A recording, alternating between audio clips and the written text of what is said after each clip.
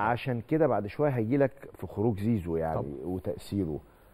بس من النقطة دي هروح لك لنقطة مهمة جدا. ما هو الزمالك عنده عبد الله السعيد. طبعا. ليه عبد الله السعيد النهارده؟ مش هقول إن هو ما كانش جيد بس لسه ما جابش عبد الله السعيد.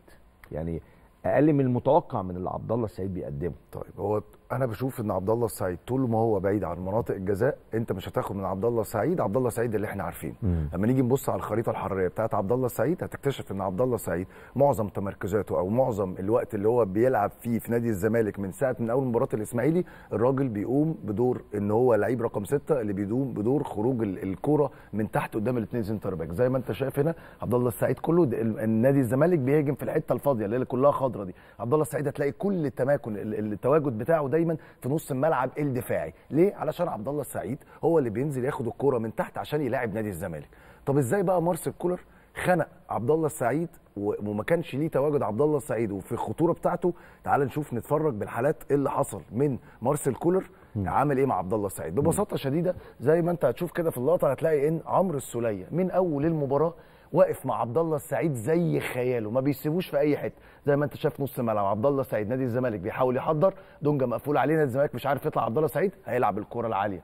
نروح للكرة اللي بعدها. نفس الكلام عبد الله السعيد واقف هنا. كهربا هيحاول إن هو يضغط اتنين center back عبد الله السعيد وعمرو السولية سايب كل حاجة عمرو السولية في الملعب وما بيروحش غير مع عبد الله السعيد في أي حتة. فنادي الزمالك يوم لاعب ال pass اللي يكسر الخطوط مش لاقيين حد. نفس الكلام برده هنا. هتلاقي بص لما الكرة ترجع تاني بص عمرو السولية فين؟ وبص عبد الله السعيد فين؟ عمرو السولية ساب كل حاجة وقام رجع تاني مع عبد الله السعيد. برغم ده كان في خطورة على النادي الأهلي بسبب القصة دي. هنا بقى الخطورة. اقف هنا لحظة بقى؟ اقف هنا لحظة؟ هنا لما عبد الله السعيد شد معاه عمرو السوليه وطلع بره نص ملعب النادي الاهلي اتفضل. نكمل بقى الكوره. اوريك الخطوره إيه لما عمرو السوليه كان بالظبط. بالظبط كده. انت بتسيب ندفت لوحده. نكمل الكوره على طول. أول ما أنت هتشوف إن آه، عبد الله السعيد أول ما عمرو السولية هياخد معاه الكوره نكمل ال- الفريم هتلاقي الكورة اتلعبت على طول برده عالية نادي الزمالك مش لاقي حلول. الحالة بقى اللي جاية هتوريك إن بص نفس الكلام هنا بص عمرو السولية فين؟ هتلاقي بص عبد الله السعيد هو هنا المره دي عبد الله السعيد زائق برده ما فيش حد ينزل يلاعب عبد الله السعيد يوصل له الكورة نكمل ال frame زي نكمل الصورة زي ما إحنا. برده عمرو السولية مش سايب عبد الله السعيد. هنا دونجا هيحاول ياخد الكورة. بص بقى هنا أول ما عبد الله السعيد هيلعب ال pass بص عمرو السولية هيبص مرة واحدة فين عبد الله قام راح لعبد الله بص بقى اللي حصل. قام النادي الزمالك اتحول عشان نص الملعب فاضي بتاع النادي الأهلي. فكان فيها risk كبير جدا. بس في نفس الوقت إن أنت إزاي قتلت دور عبد الله السعيد في خروج. نفس الكورة هنا برضو الخطورة اللي بقولك. بص عمرو السولية سايب نص الملعب خالص واقف مع عبد الله السعيد مش هيسيب عبد الله السعيد. ولكن دي اللي النادي الزمالك كان بيلعب عليها. إن أنت ماسك عبد الله السعيد حاول يطلع على الأطراف وحاول يطلع من عمق الملعب اللي فاضي. بص بقى مين اللي نزل في نص الملعب؟